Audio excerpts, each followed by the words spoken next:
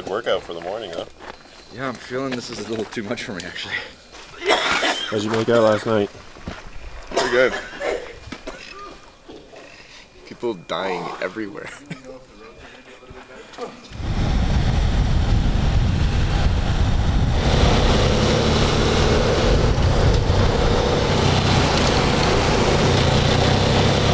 China is all on one time zone, even though it, the country from east to west is about five or 6,000 kilometers. So as we start moving further west, the sun will rise later, even though the time is the same. So sun, sun rose this morning at about 8.30, which is strange because, you know, two weeks ago uh, on the coast and next to the ocean, the sun was rising at like 5.30.